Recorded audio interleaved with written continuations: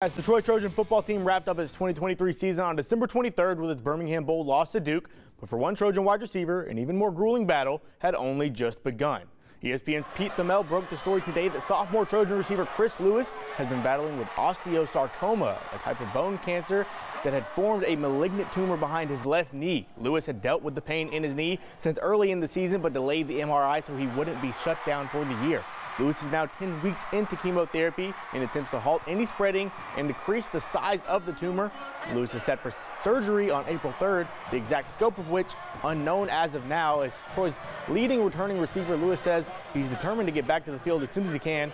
And if and when he does make his return, he expects to make take his game to another level without the tumor limiting his movement.